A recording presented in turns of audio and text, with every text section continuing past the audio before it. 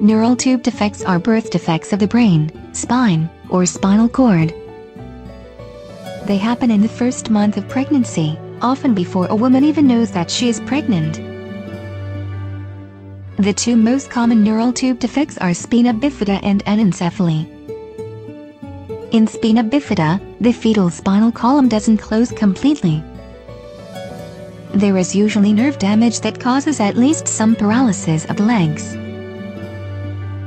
In anencephaly, most of the brain and skull do not develop. Babies with anencephaly are either stillborn or die shortly after birth. Another type of defect, Chiari malformation, causes the brain tissue to extend into the spinal canal. The exact causes of neural tube defects aren't known.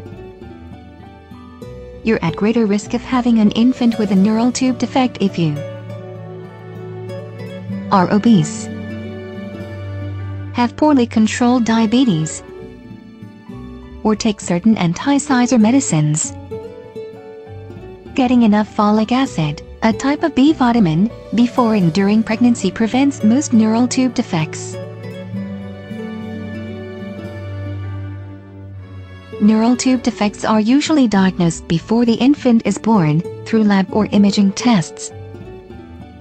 There is no cure for neural tube defects.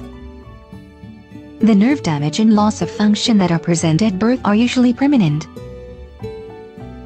However, a variety of treatments can sometimes prevent further damage and help with complications.